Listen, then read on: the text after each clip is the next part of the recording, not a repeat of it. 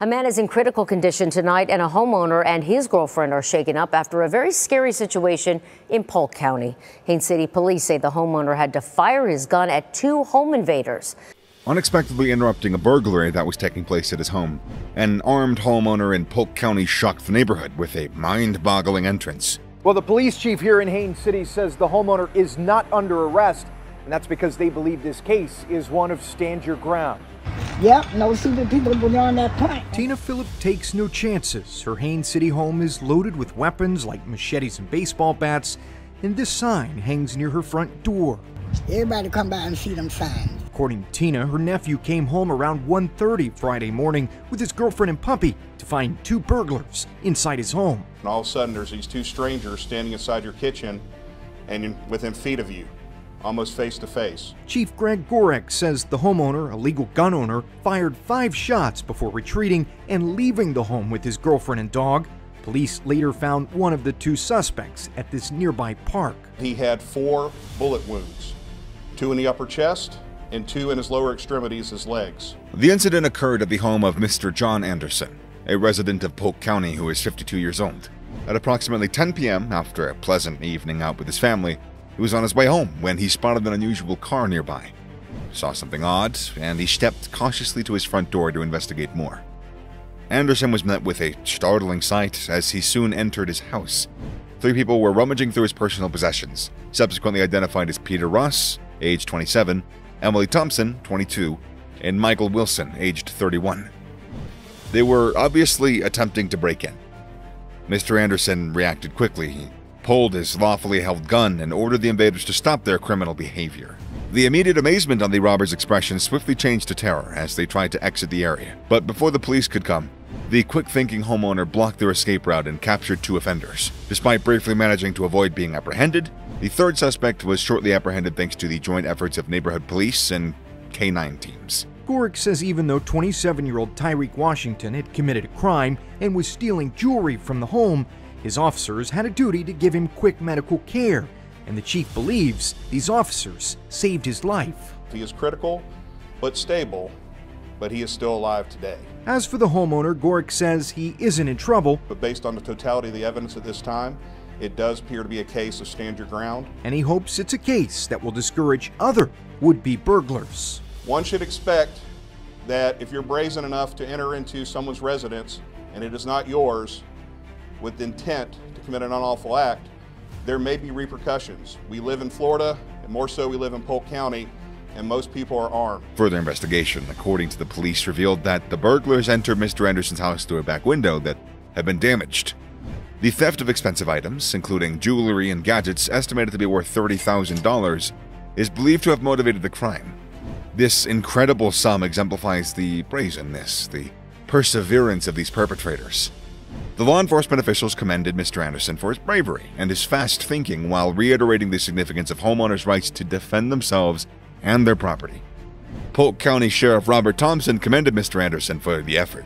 Along with the praise from law enforcement, the community has come together to support Mr. Anderson, praising his bravery and his diligence. Relieved that a member of their neighborhood could handle a potentially deadly scenario, neighbors showed their gratitude. Many people have even started talking about a neighborhood watch program to increase security in the region.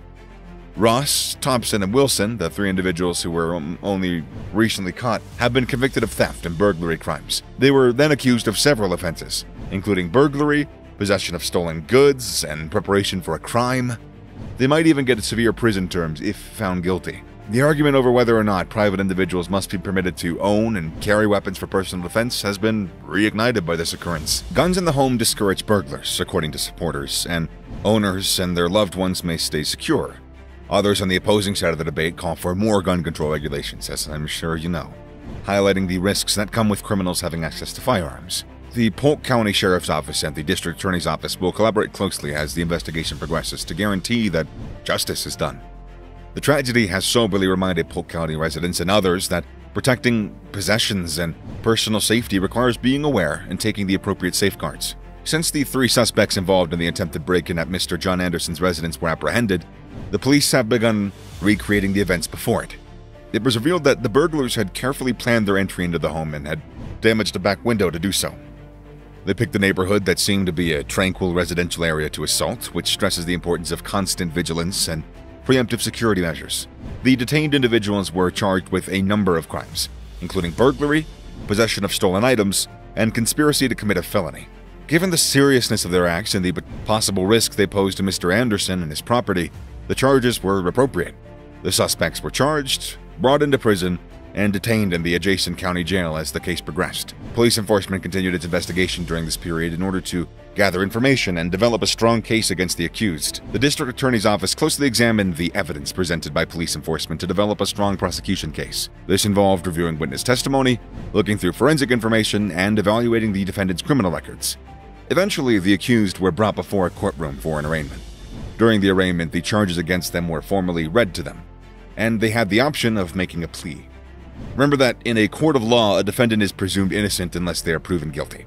According uh, on the specifics of the case, the district attorney's office may have presented the suspects with a plea bargain, which enables them to acknowledge guilt to certain counts in exchange for leniency on other concessions. However, the particulars of any plea bargaining would be left up to the legal system and prosecution's discretion. In the events that the suspects decide against accepting a plea deal, the matter would go to trial. During a trial, the prosecution and defense would present the judge or jury with their arguments and supporting evidence. To support the defendant's guilt or innocence beyond a reasonable doubt would be the goal of the trial. Mr. Anderson may have been called to the stand to share his version of events during the trial. The prosecution would have presented evidence to support their case, including security camera footage, forensic analysis, and any recovered stolen property. Following then, the guard would have the ability to refute the evidence and present their own justifications and witnesses. After carefully evaluating all of the evidence and arguments, the judge or jury would have reached a decision. If the suspects had been found guilty, the court would have proceeded to the punishment phase. The sentencing process would consider the seriousness of the charges, the prisoner's criminal history, and any aggravating or mitigating factors. The penalties for the offenses related to the burglary attempt can be severe and vary from probation to jail, depending on the jurisdiction and particular facts of the case. It's important to stress that the judge's or jury's judgment would determine the case's final outcome after considering all applicable laws and regulations. But to enhance personal safety and reduce the risk of accidents like burglaries, you can take several proactive measures. Hear this out. Install durable locks on strong doors and windows. Consider adding deadbolts, security bars, or locking systems to reinforce access locations. When you're out of home or at night, lock all windows and doors. Contrarily, spend money on a security system with cameras, motion detectors, and alarms. To discourage possible burglars, post signs showing the presence of the security system. Additionally, well lit areas surrounding your home might serve as a deterrent to thieves. Place outside lights next to roads, pathways, entrances. Think about installing lights that will turn on when someone moves close by. Likewise, develop a neighborhood watch program in cooperation with your neighbors. Watch out for each other's properties. Immediately report any suspicious activity to the police and maintain contact via neighborhood communication channels. Meanwhile, remember to build solid bonds with your neighbors to build a feeling of community and a network of support. Learn the habits of your neighbors and volunteer to look after their houses while they're abroad. As a word of the occurrence spread, the locals and internet communities flooded in to applaud Mr. Anderson's deeds. Many praised his bravery and fast thinking, highlighting how crucial it is for house owners to be ready to defend their belongings and themselves. Gun rights supporters contend that well armed civilians significantly deter criminals, possibly stopping additional harm and criminal activity. The event has, however, reopened the discussion of gun control. Gun control components contend that situations like these highlight the hazards posed by weapons, highlighting the possibility of harm occurring if a weapon ends up in the wrong hands. They need tougher rules to assure responsible ownership and lower the possibility of accidents or misuse. Beyond the immediate effects of the affected community, situations like this spur discussion on more general public safety problems. It emphasizes the necessity for an all encompassing strategy incorporating community involvement, police enforcement activities, and preventative measures all citizens may benefit from a safer environment if law enforcement organizations, local watch programs, and community leaders work together effectively.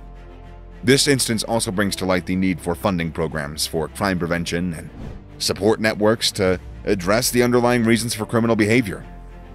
Communities may lower crime rates and create safer conditions for everyone by addressing root causes, including poverty, substance addiction, and a lack of opportunity. At the end of the day, the armed Polk County homeowner's experience with intruders inside his house is a potent reminder of the value of personal protection, and the right to self defense. It draws the attention to ongoing arguments between proponents of gun rights and those of control, igniting discussions about responsible ownership and public safety. Don't forget to subscribe to our channel to get the latest news on crime daily. Remember that swift reporting can stop crimes from happening again and shield others from peril. If you want to watch other crime and self defense videos like this, follow the video links on your screen right now.